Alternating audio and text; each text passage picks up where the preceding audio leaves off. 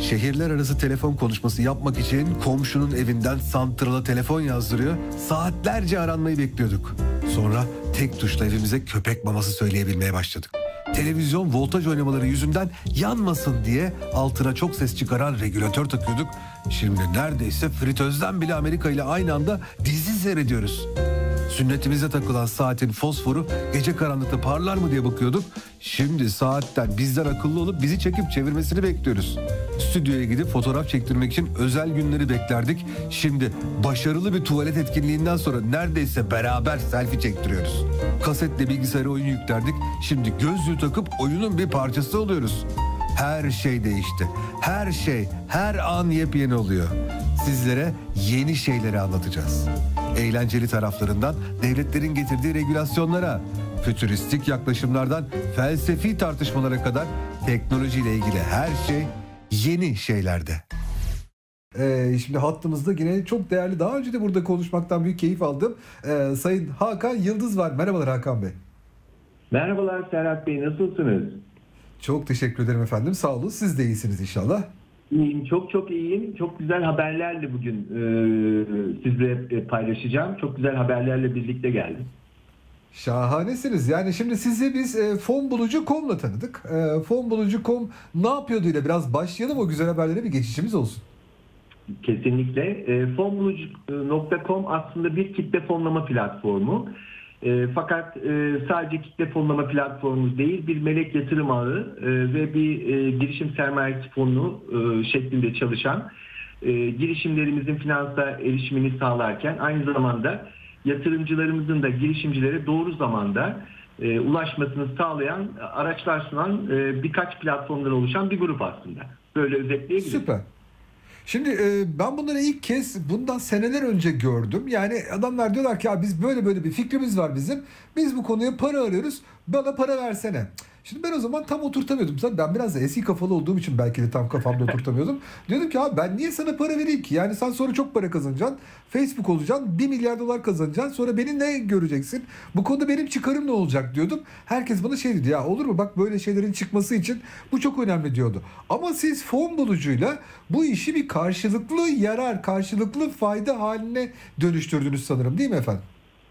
Aynen öyle oldu. Ee, aslında e, tabii sizin eski kapalı olmadığınızı biliyorum. Şu anda zaten yeni şeyler rehberindeyiz.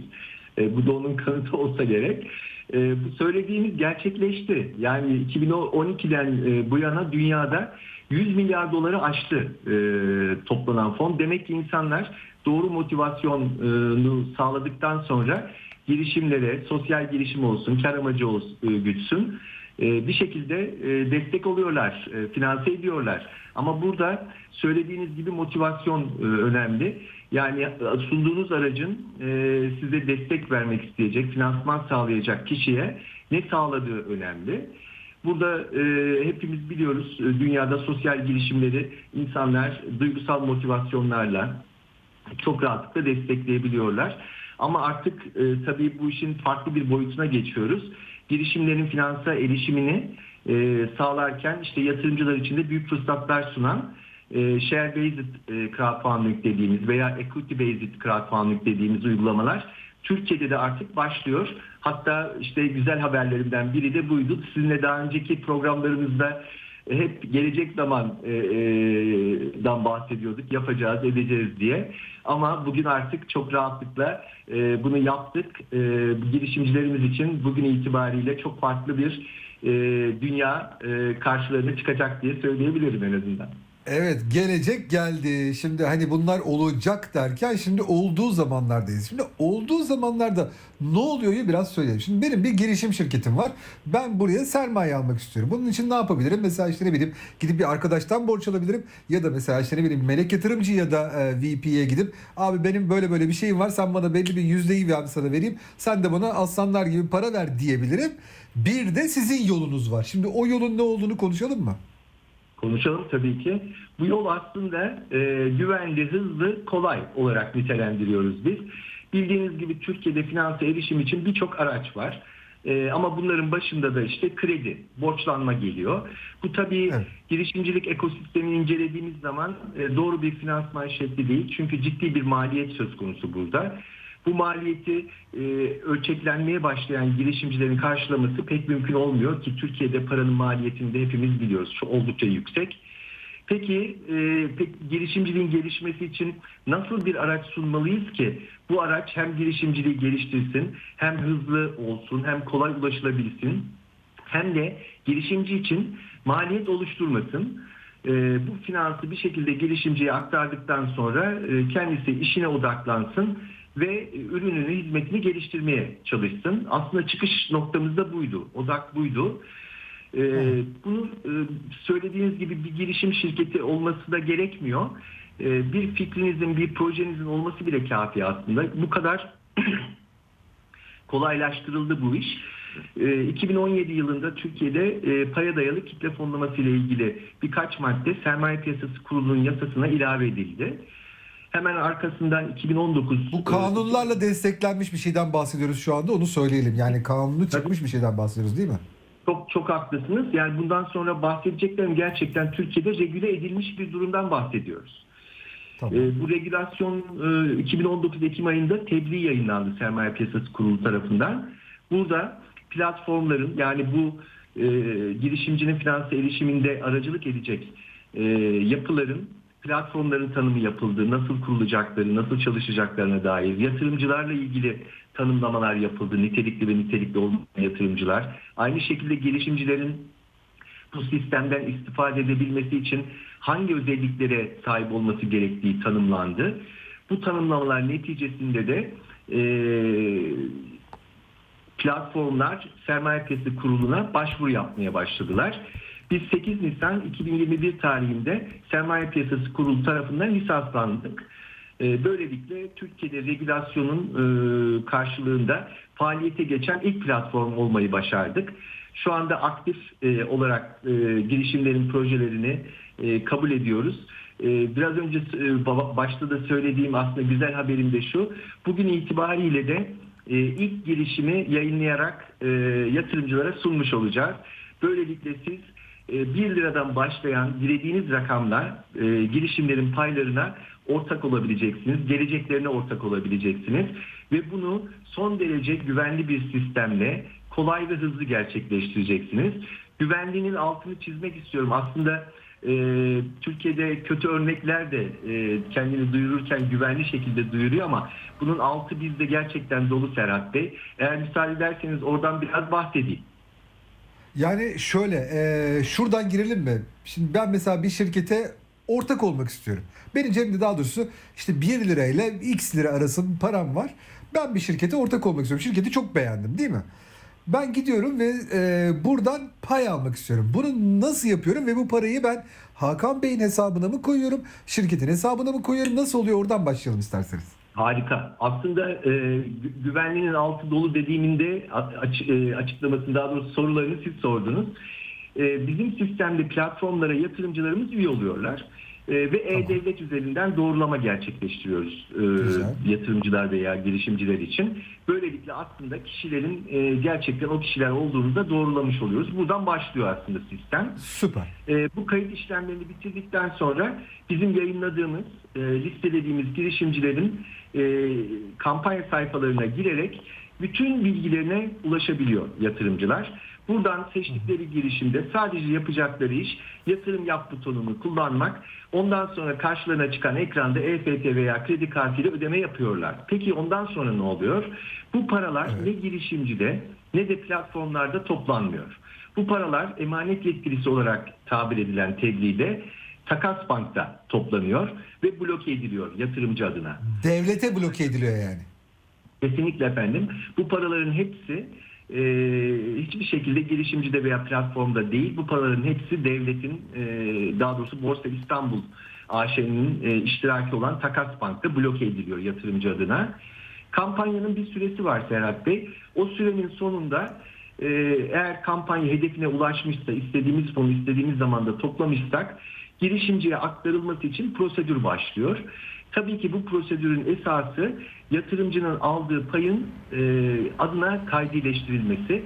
Bu hizmeti de Merkezi Kayıt Kuruluşu, yine Borsa İstanbul'un iştiraki olan Merkezi Kayıt Kuruluşu veriyor.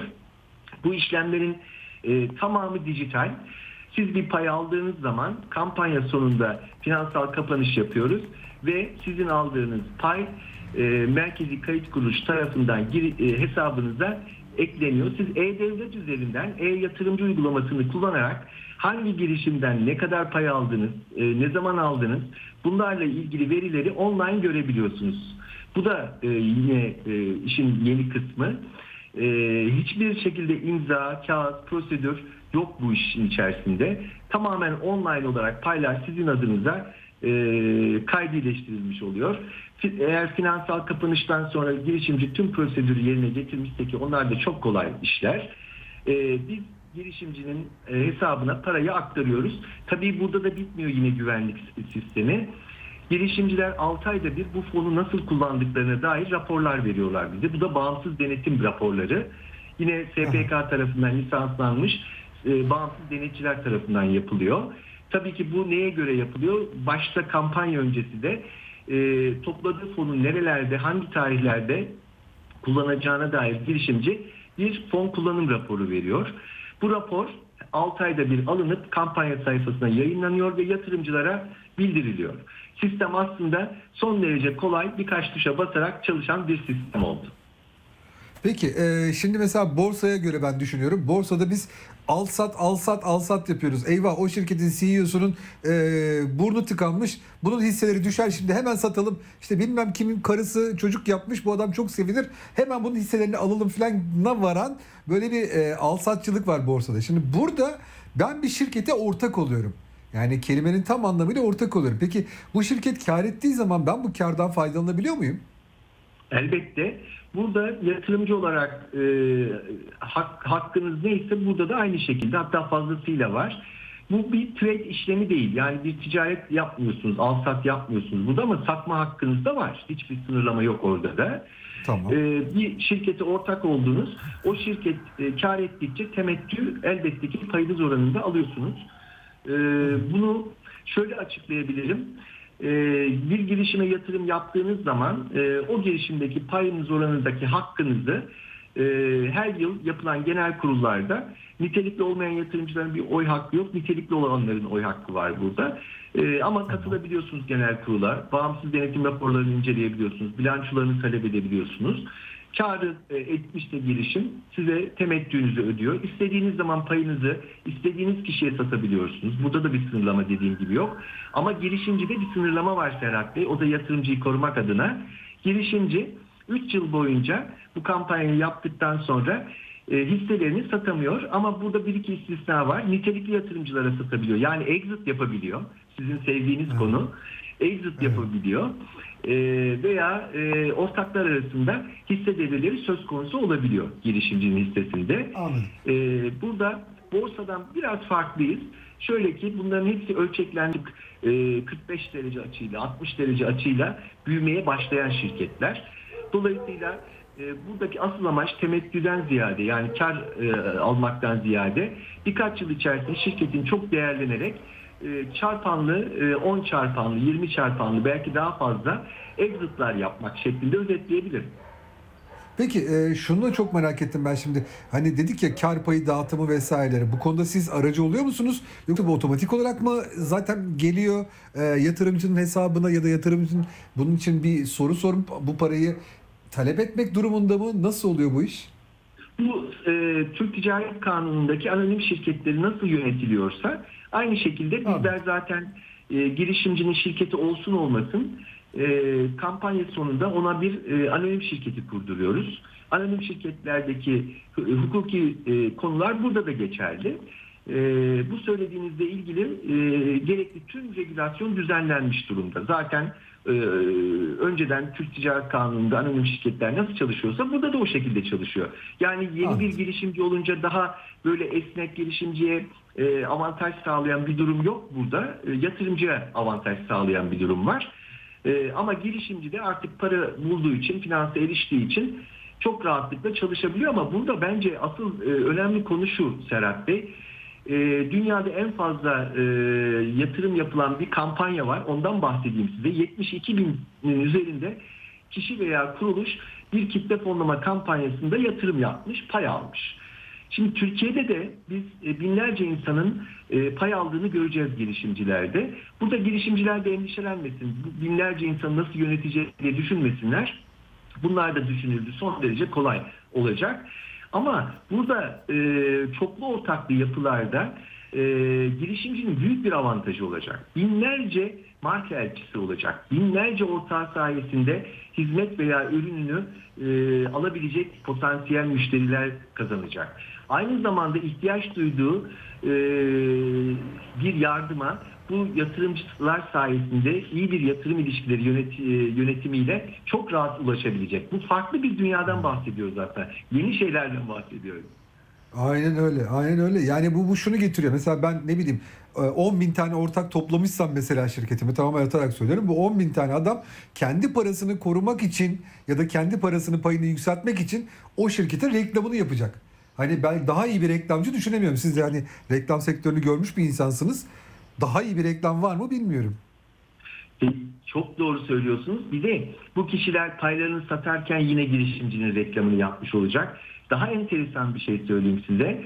E, diyelim ilk turda siz e, kampanyanızı yaptığınız 10 bin tane ortağınız oldu. Tabii bu ilk evet. turu girişimcinin. İkinci, üçüncü turlarında, yatırım turlarında bu yatırımcılar aslında bir sonraki turunda potansiyel yatırımcısı.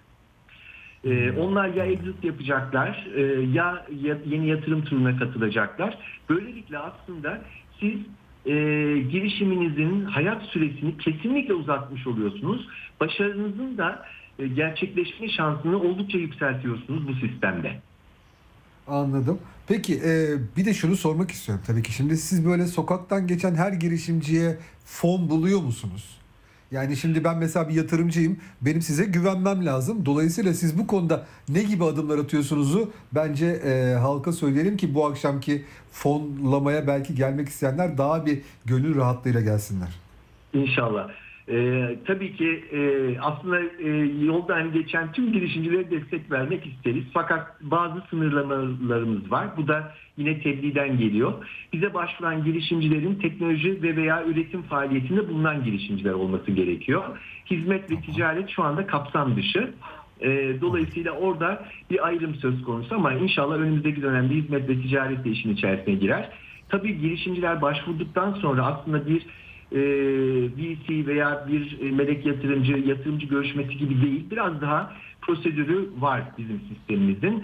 Girişimciyi çok iyi etüt ediyoruz. Onu iyi anlamaya çalışıyoruz. Kampanyasını hazırlarken ona her türlü desteği veriyoruz. Aslında girişimciler burada kendilerini yeniden keşfediyorlar. Girişimlerini yeniden keşfediyorlar. Şöyle Bu arada şunu da söylemek gerekiyor. Siz aynı zamanda hem bir venture capital hem de melek yatırımcısınız değil mi? Kesinlikle doğru söylüyorsunuz. Onu söyleyecektim ben de. Biz bütün e, kampanyasını yaptığımız girişimlerin en az %10 payını alarak ortak oluyoruz. Onların yönetiminde ha. destek olmaya çalışıyoruz. Böylelikle e, diğer yatırımcılarımızın da haklarını orada korumaya çalışıyoruz. Yani elimizi taşın altına sokuyoruz aslında girişimcilerde. E, ama listelenen e, yatırım için sunulan girişimleri de çok titizlikle seçmeye çalışıyoruz.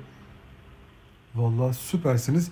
Gerçekten de e, şimdi size nasıl ulaşsın insanlar? Fonbulucu.com dedim ama hani bu akşam ne yapabilirler size gelebilirler? Biraz bunu da konuşalım.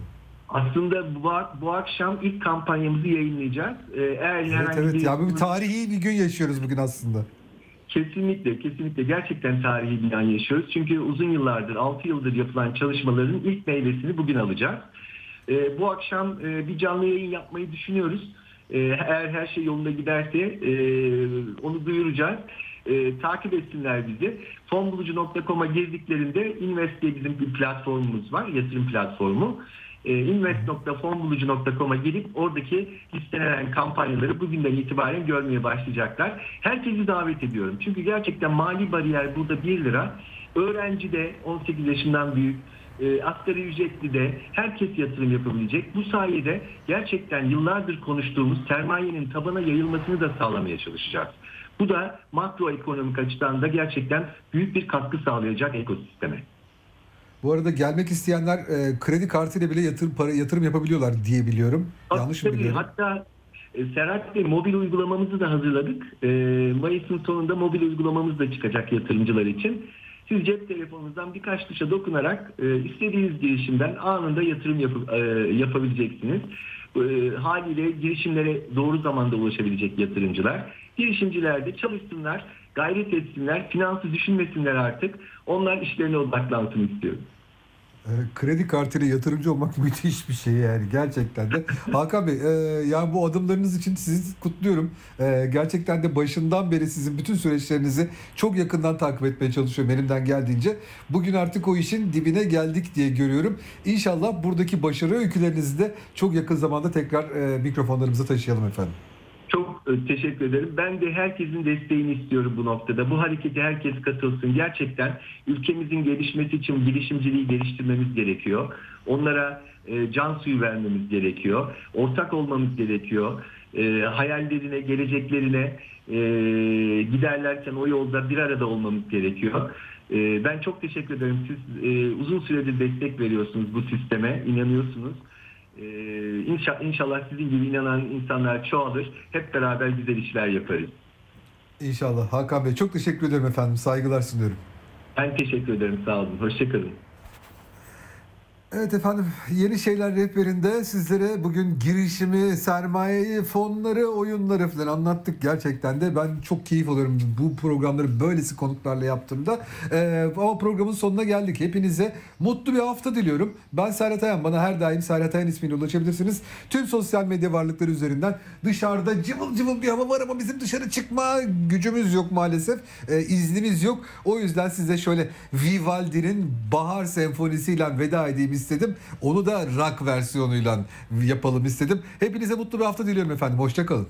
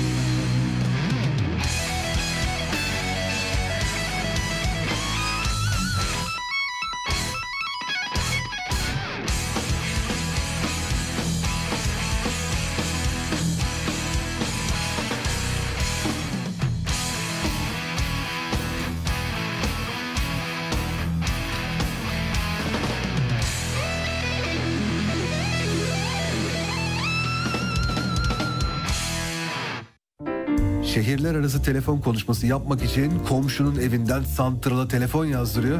Saatlerce aranmayı bekliyorduk. Sonra tek tuşla evimize köpek maması söyleyebilmeye başladık. Televizyon voltaj oynamaları yüzünden yanmasın diye altına çok ses çıkaran regülatör takıyorduk. Şimdi neredeyse fritözden bile Amerika ile aynı anda dizi seyrediyoruz. Sünnetimize takılan saatin fosforu gece karanlıkta parlar mı diye bakıyorduk. Şimdi saatten bizden akıllı olup bizi çekip çevirmesini bekliyoruz. Stüdyoya gidip fotoğraf çektirmek için özel günleri beklerdik. Şimdi başarılı bir tuvalet etkinliğinden sonra neredeyse beraber selfie çektiriyoruz.